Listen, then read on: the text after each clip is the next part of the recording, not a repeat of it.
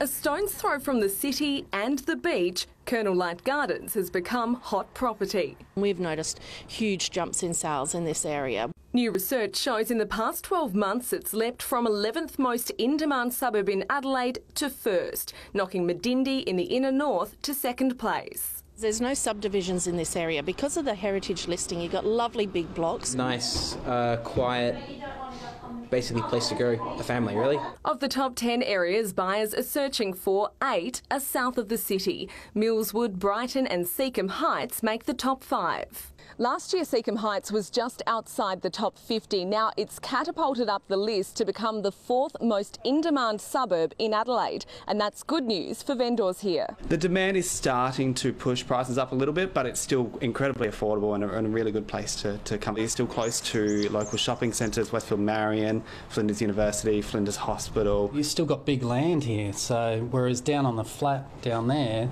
it's competition for all the all the space. Agents here say they're yet to see coronavirus fears having an impact on buyer confidence. And I think South Australians are, are pretty um, wise when it comes to that stuff. They don't buy into all the fear, they stock up on their toilet paper and get to the opens.